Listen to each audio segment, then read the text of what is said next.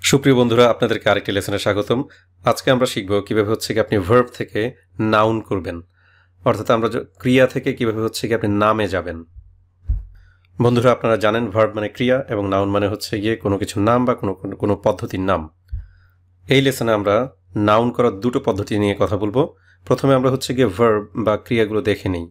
Employee develop move জাজ advertise, encourage, entertain, establish.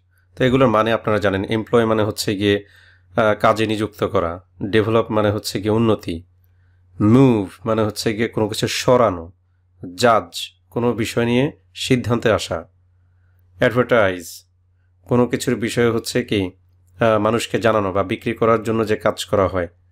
Encourage কাউকে সাহসী করা, কাউকে হচ্ছে গিয়ে উদ্দীপ্ত করা এন্টারটেইন কাউকে আনন্দিত করা এস্টাবলিশ কোনো কিছু প্রতিষ্ঠা করা, এবং সব কিছুতে আপনি দেখেন করা দিয়ে শেষ হচ্ছে মানে হচ্ছে এটা একটা কাজ বা ক্রিয়া।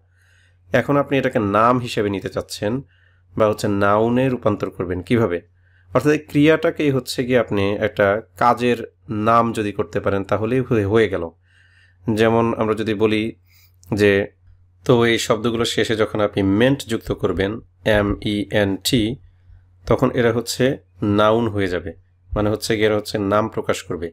Employment development movement judgement advertisement encouragement entertainment establishment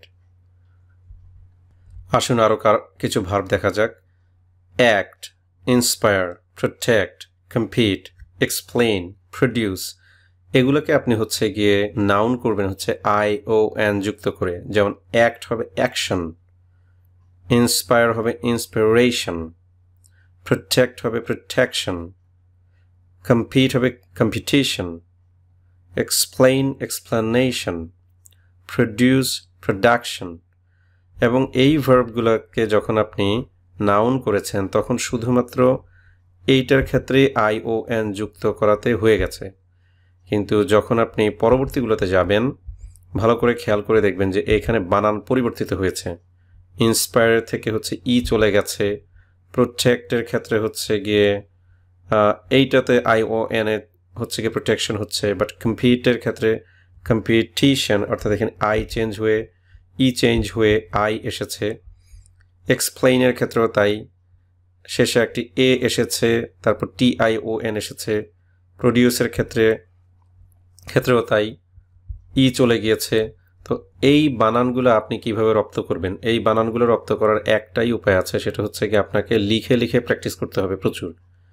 এবং যত আপনি প্র্যাকটিস করবেন, ততই আপনার হাতে চলে আসতে থাকবে। একটা সময় এটা হচ্ছে গিয়ে আপনার অটোমেটিক হয়ে যাবে। আপনি আপনি বানান লেখার সময় ফিল করবেন যে এটা ভুল হচ্ছে, অথবা হচ্ছে গিয়ে আপনি অটোমেটিক্যালি হচ্ছে গিয়ে রাইটটা লিখে ফেলবেন এবং কেউ যখন বলবে যে ইন্সপায়ারের পরে কেন একটা এ এসেছে ইন্সপিরেশন লেখার ক্ষেত্রে, আপনি বলবেন, আমি জানি না but you have written it correct practice practice practice this is the way you can become good in nouns because noun হচ্ছে গিয়ে ভার্ব থেকে আপনার মোস্টলি বানান আলাদা হতে থাকে। যদিও এন্ডিংয়ের নিয়ম আছে, যেমন আগে দেখিয়েছি মেন্ট এখানে আই ও এন বাট শেষের দিকে বানানের পরিবর্তন আসে, আমি আপনাকে অলরেডি দেখিয়েছি।